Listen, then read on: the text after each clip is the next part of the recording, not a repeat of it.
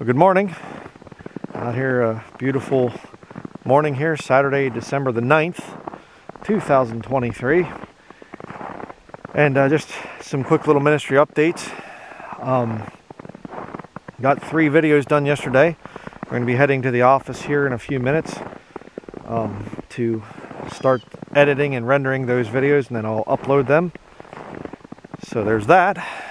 Uh, I've been very busy lately with a bunch of projects I needed to get done, offline stuff and whatever else. Been doing some research into, well, that led into these videos, essentially.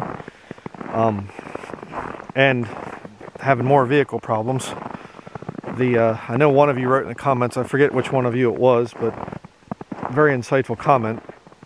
They said, one of you said that about that the uh, Chevy Tracker we bought is just going to be one problem after another, more than likely. Well, yeah, um, been trying to diagnose what's going on with it.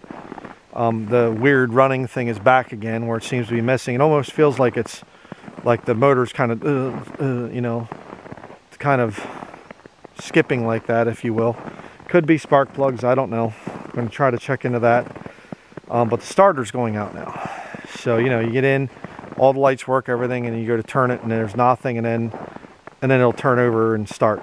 So, um, not good.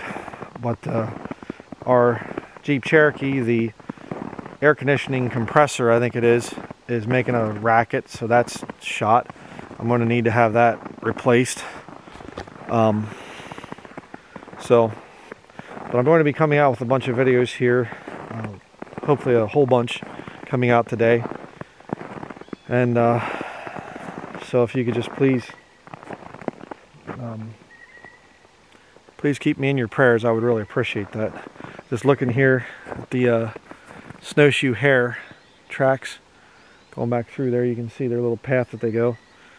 You can always tell because they have, you know, two and then like two right beside each other. Their front feet, they put them together, and then their two back feet are wider apart, so they kind of go like they walk. When they walk, they, you know, put the two down and then the two big ones like that. So you can always tell snowshoe hare. And um, they'll walk and they'll make like a little path, you know, that they, they all walk in line, you know. Uh, so, interesting little thing there. So, we're going to head to the office. I know I saw a few of you were asking, you know, are you okay, brother? And things have been a little while since we've heard from you. Yeah, doing fine. Just as always, keeping very busy. And uh, so, some good studies coming out very soon. And as always, thank you to everybody out there that supports us. Thank you to all who pray for us. That means a lot. And um, so we will see you in the upcoming videos.